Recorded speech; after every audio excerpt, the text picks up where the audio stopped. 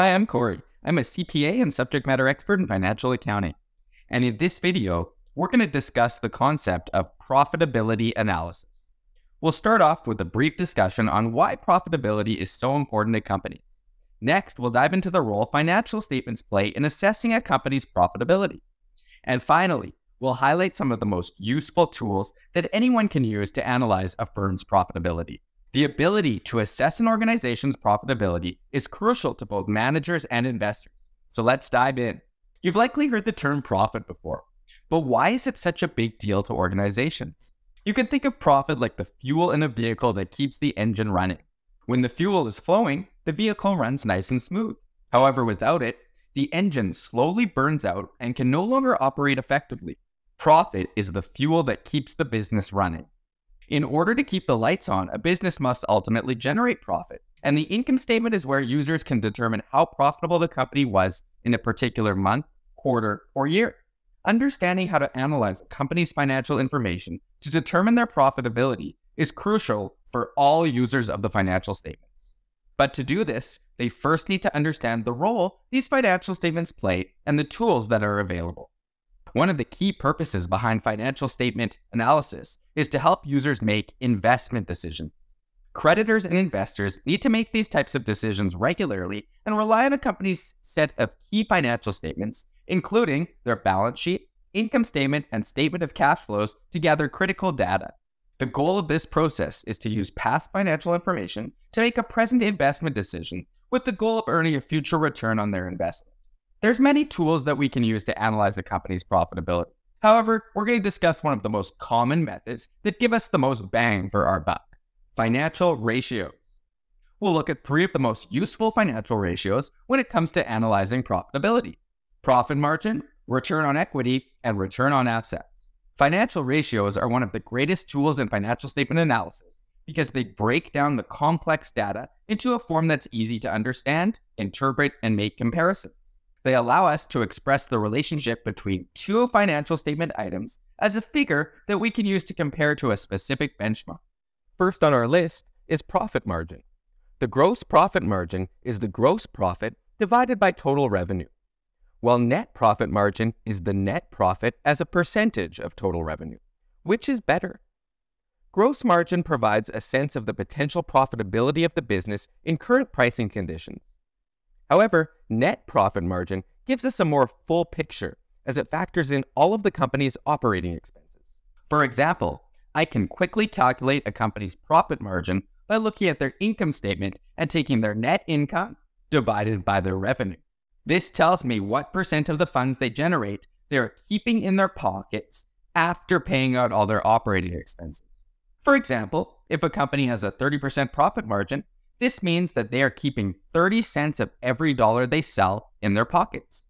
Once we have this profit margin figure, we can compare this to other competitors in the same industry to get a sense for which company is most effective when it comes to managing their revenues and expenses.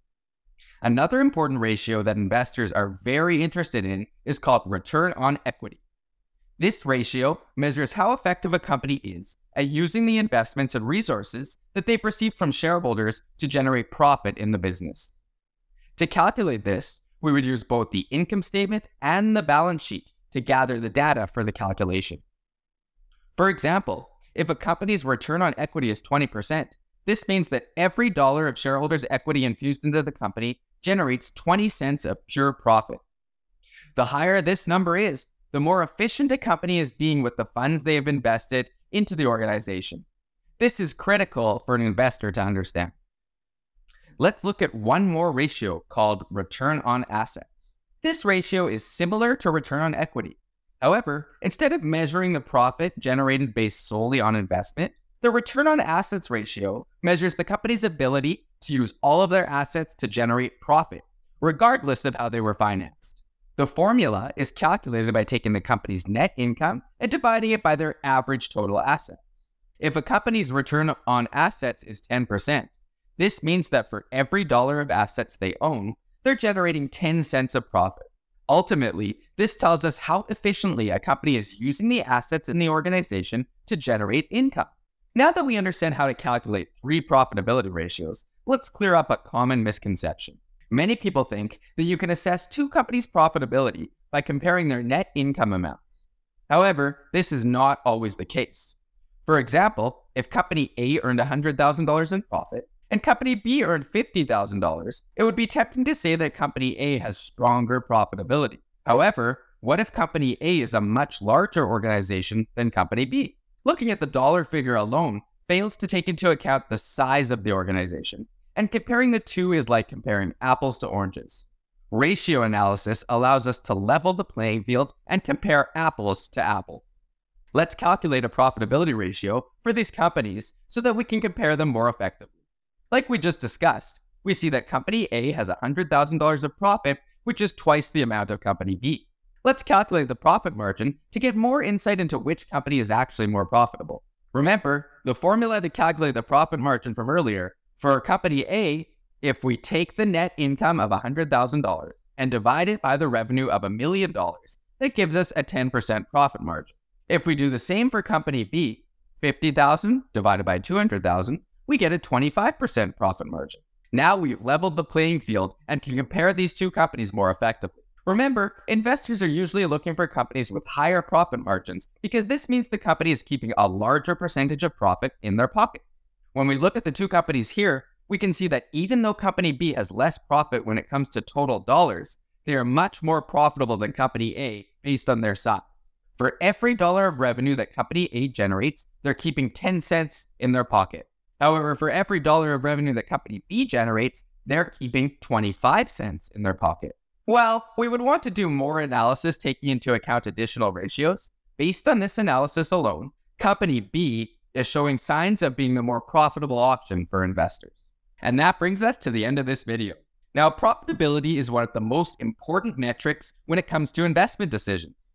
While there's many tools that investors can use, ratio analysis is one of the most effective ways to assess an organization's profitability. Understanding this topic gives users of the financial statements the tools they need to make smarter business and investment decisions. If you're interested in learning more about this topic, or many more, please feel free to check out our additional videos on many more related topics.